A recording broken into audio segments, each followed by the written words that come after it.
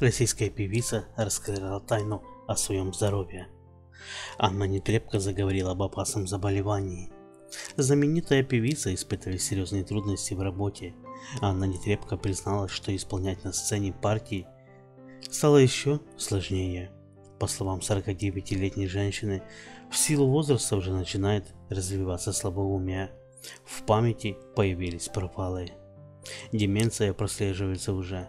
Я вот буквально последние несколько месяцев начала это ощущать. Как-то начинает иногда забывать слова, вроде как начинаешь петь и думаешь, что дальше.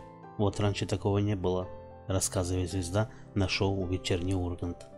Знаменитость не исключает, что заболевание мог спровоцировать перенесенный COVID-19. Голосистская брюнетка отметила, что старается бороться с недугом, чтобы продолжать выступать на концертах и радовать своих поклонников вокалом.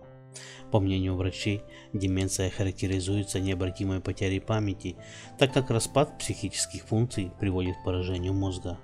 Забывчивость – это лишь первый сигнал, с которого начинаются проблемы. Сейчас Анна Нетребко намеренно нагружает мозг в надежде, что патология приостановится.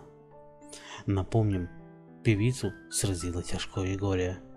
Звезда потеряла любимого отца Юрия Николаевича. Мужчина скончался на 87 году жизни. Анна Нетребко отметила, что гордится покойным родственником. Вы не забывайте, друзья, что на нашем канале каждое утро выходят самые интересные новости из жизни российских звезд. Подписывайтесь на наш канал и следите за нашими новостями.